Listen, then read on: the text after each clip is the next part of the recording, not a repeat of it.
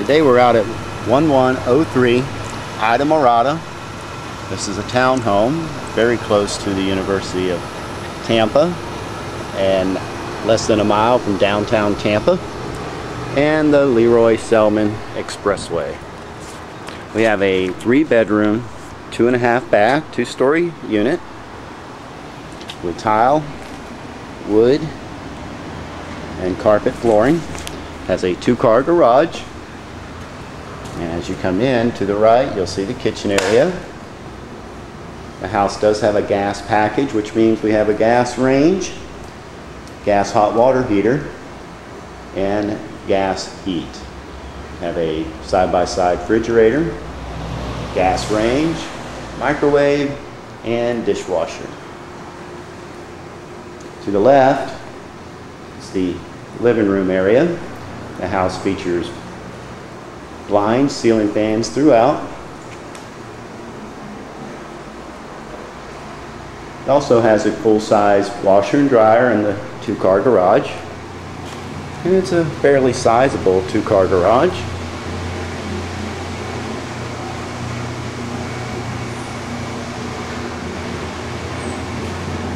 Unit also features a half bath downstairs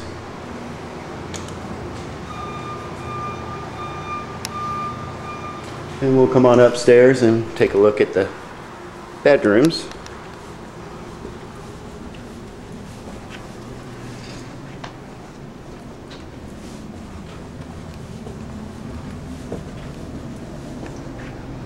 At the top of the stairs to the left, we have the first, second dairy bedroom, which is 10 by 11. Plenty of closet space.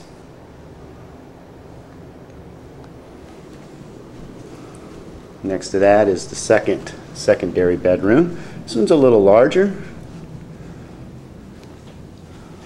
more like 10 by 12 with plenty of closet space. We'll come on down the hall and to the left you have your hall bath which is a tub shower combo.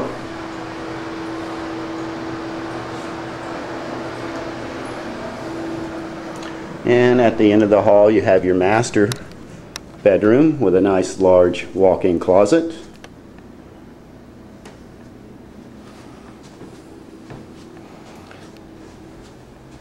The master's about 15 by 13. Come on into the master bath. Which has a nice little closet area and this real nice large shower.